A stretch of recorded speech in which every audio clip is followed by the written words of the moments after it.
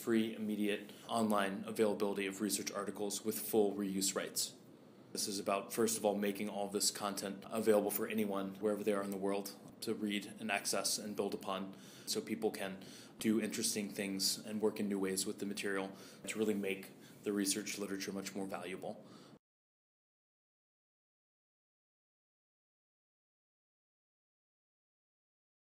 I'm Michael Eisen. I'm a professor of molecular cell biology at UC Berkeley. I run a research lab that studies uh, Drosophila developmental biology as well as um, the role of microorganisms in manipulating animal behavior. And I am one of the co-founders of PLOS. Uh, I'm Jonathan Eisen. I'm a professor at UC Davis. And I'm an evolutionary biologist studying mostly microorganisms and interested now in communities of microbes and how they interact with each other and how they interact with plants or animals that they live in and on. I was uh, the academic editor-in-chief of PLOS Biology for a while and now I'm chairman of the advisory board of PLOS Biology. The reason I got interested in open access in the first place was that when I was a postdoc in Pat Brown's lab, working at the in the early days of experimental genomics, where we were generating, you know, we were generating data on experimental data on the behavior of every gene in the genomes of yeast and humans and other animals, and we, had outstripped our ability to figure out what was going on in an experiment like that by just reading the literature on our paper by after paper after paper, and it happened to be that that this shift of the you know uh, biology from studying genes one gene at a time to studying genes systematically coincided with the um, the birth of the modern internet and the the beginning of scientific journals starting to publish electronic um, editions of their papers. Pat and and me and other people in Pat's lab um, felt that the most sensible way for us to approach the analysis of the experiments we were doing was to download all these papers and put them into a computer and write some clever algorithm to relate that information to the experiments that we were doing. And we hoped make the job of figuring out what was going on in these experiments easier. And it seemed so obvious a thing to do. And yet, we very quickly encountered this obstacle. And the obstacle was that the journals who for all intents and purposes, owned the, the papers that we wanted to get access to, didn't want to let us do it. And, you know, it just became clear that, that the way in which, just the practice we have of giving control of the literature over to publishers was, was now a, a, a obstructing scientific progress. We, we started PLOS partly to serve as a, um, as a model and partly to serve as an actual um, locus for people changing the way that science publishing was, was going to work. I worked at a genome center at the time, this place, TIGR, the Institute for Genomic Research, and we were less you know, involved in the issue of access to publishing as much as access to data. And we um, thought that we were embracing openness to data, but we released our data to the world. We felt earlier than many other people would release the data, and then we put this little caveat on the release of the data that said, oh, you can use the data, but basically not to do anything that would compete with, with us. Um, and we got into arguments about this all the time. It was really, really difficult to go to those people and say, that system that has made your career, that the system that has anointed you a success is broken.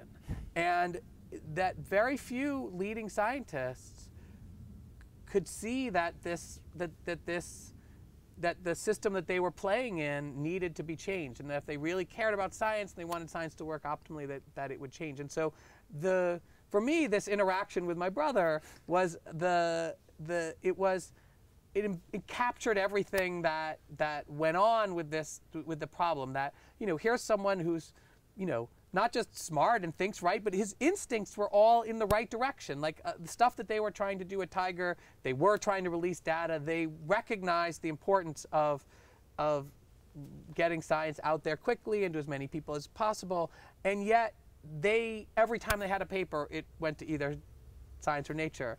And so it was th- there was this just deeply embedded practice in the community that that was hard to overcome. And so all along, you, you know, I felt like God, if I can't convince my brother. To, to, to not just change his practice, but to even see what the problem is, that you know that we were never going to convince anybody else. But but of course, we're you know, he's a year and a half older than I am. Um, I think he had a harder job with me than he might have had with other people because I didn't want to listen to him, right? I mean, so there was this complicated part, which was, um, yeah, it makes sense, but like we do in many other things, even today, like in discussions on Twitter, we argue. And so part of the response that I had was not only about myself, it was about imagining the, the people, the field, the, the general sort of response, which was, you know, what, why shouldn't we publish our papers in these prominent journals? I don't understand, you know, what difference it makes to have access to that. We're posting our data, you know, and, and it took a while to um, come to the realization that there was something more to access to papers than just a political statement. We had a family medical emergency. My wife was in the hospital with complications from a botched amniocentesis, and we had to make a medical decision basically that night or the next morning about whether or not she should get a RhoGAM immunization. The recommendation was you should have it within 72 hours, and this was after 72 hours. So I wanted to see the papers that came to the conclusion that 72 hours was the right point. And I logged on and started to try and get these papers to see the real data, not the abstract, the data that showed when you should get these um, shots. And you know, I log on and I get to the first paper. You can't get access to it without paying $30. I paid $30. It had no information that was useful. Logged on, looked for the next paper that I got from that first paper, the references and other things. Started paying $30 here and there, and none of them were necessarily useful. And I just realized that, I mean, it was like a light came on where I was like, oh my God, I can't believe this. This is ridiculous. Here I am, a trained scientist, interested in helping our medical professionals make a decision about this in the hospital room. And I can't get the papers. I emailed I mean, I have the, you know, all the emails I wrote to authors of these papers. Many of them were like in Sweden and Finland, and I was thinking, I hope they're checking their email because it's morning there now, and maybe they'll send me their paper. And I looked, none of them had their papers on their websites, right? I mean, um, none of them had the papers anywhere. And I just, I, I, I was changed. The next morning, I realized that it wasn't just about authors, you know, sharing their papers with other people so that they could do a journal club, you know, three months earlier if they didn't have a subscription to the journal, access was important for other reasons. A lot of what we wanted to do with PLOS Biology was to just show people, give people a living, breathing example of something that functioned in a different way than than what they were used to. And but not a completely different right. way. If we'd had our druthers, frankly, we would have just burned down the entire science publishing enterprise at the beginning and rebuilt it in the way we thought it should be done. And in fact, the first thing that that you know really was tried. I mean, Pat and and and and David Lipman and Harold Varmus and and and and to some extent me, but really this was Pat and Harold and David pushed this idea of eBiomed back in the 90s that would have radically reshaped science publishing, and it was met with deep skepticism and basically you know was a non-starter because it was clear that scientists just couldn't see that many steps ahead. If you talk to people, what you mostly got from them was mm, I want to publish in Science or Nature, right? And so we PLOS Biology, we created PLOS Biology to give people you know that venue that to, to let give them a way to satisfy what was and I still believe is a bad instinct, the instinct to publish your paper in a high profile journal and so forth, to give them a way to do that, but which changed something. Showed them that that that there was no need to link the the high profile journal to a subscription based business model and PLOS Biology would change it. I mean, I think I've said this before, but you know, our original, my preferred name for PLOS Biology was the science of nature and cells. And the point was to just make it explicit that what we were doing was creating a journal that was, was a mimic for science and nature and cell. It's hard to overstate the importance of high impact journals in the psychology in which people interact with the journal system. And, and, and PLOS Biology's main goal at the beginning was to undermine that relationship that people had with high profile journals and this toxic business model, this toxic subscription business model. Open access, which is the alternative business model that we sort of embraced, which is the, the, the a service-based business model where publishers are paid for what they do, but they don't own anything that's produced. That was the main focus of what PLOS was trying to do, was to, was to show everybody, both introduce them to this business model, to let them understand how it worked, and to show them that it was it, not just as good as the existing model, but it was actually better.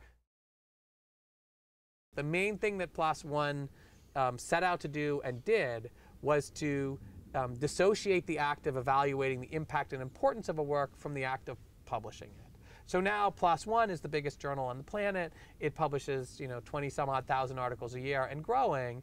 And it, has, it, it now provides us with the opportunity to do what PLOS needs to be doing next, which is figuring out the, the, the best way in many ways of shifting the burden of assessing the impact and, and um, audience of a work from the pre-publication review process to a process that happens alongside and after publication to come up with the system that allows reviewers and scientists and the community at large to organize and and stratify the literature in many different ways that are going to be useful in many different contexts, making the, the um, um, existence of selective journals, making the existence of journals as they, as we know them today, completely and totally unnecessary. I think the future, to me, about scientific communication is, you know, a big multi-front war or whatever you want to call it. We need to change tenure and merit and hiring practices so that we reward people for being creative and for being interesting and for sharing and teaching and doing interesting research. And we need to do the same for people releasing software and data and videos of talks and you know engaging second graders in research just like with graduate students. And so I think scientific communication is this growing, really interesting arena where scientific publishing is just this tiny little fraction of it. Some, some blogger, I forget his name, wrote a, a thing about publishing in general, and he had this great quote in which he said, publishing isn't an infrastructure, it's not an industry, publishing is a button. And the way we need to, to think about science communication is, I'm a scientist, I do stuff in my lab, and I want to share it with the world. I want to share it with other scientists. I want to share it with with other people. When I'm ready to share it, when I think it's worthy, whatever criteria I use to decide that, maybe I post my lab notebooks every day. I don't know. People have different ways of doing it. But when I'm ready to share something with the world, I should just press a button and share it with the world. And, and that's what science publishing should be. It should be this unmediated act of communicating information from a scientist to the, um, to the public, to other scientists, and so forth.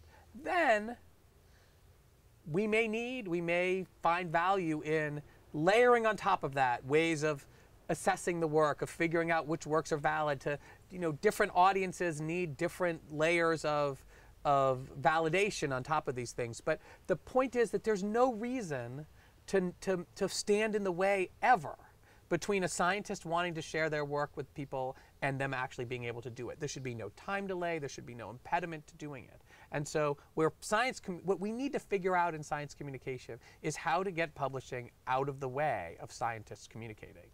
I, I hope people, in looking at what PLOS Biology has, has accomplished over the last 10 years, um, you know, try to think and not just think, but help us, you know, figure out the best way to do it and to help us make it happen. To transition from from a world in which the the role of the journal is to select a small number of papers for publication to a world in which the role of the journal is to serve as a guidepost through the literature.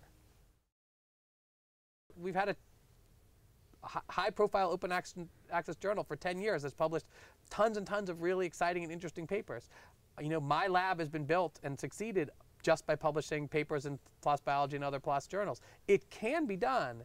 I you know, thought that we'd have moved past the questions from my colleagues about is it better to publish in open access journals or not. I can't believe I still have to have the same conversations all the time with a new generation of scientists who I thought would have known better. You know, 10 years ago, everybody said it wasn't going to make it a year, right? I don't think anybody thought that PLOS, not a, you know, PLOS or PLOS biology would still be around after a decade. They thought we were, you know, naive, crazy idealists who were, you know, playing around with you know some foundation's money to start a journal, but that but you know it succeeded and it, it and I think it you know everybody knows about it. Everybody knows what open access is. My lab is much more engaged with openness about all the activities that we do, in part because of the role that I've had in PLOS biology and in thinking about open science. I mean, I've had people develop new platforms for sharing scientific information in my lab. I've now got three research, three grants that are not for research but are about scientific communication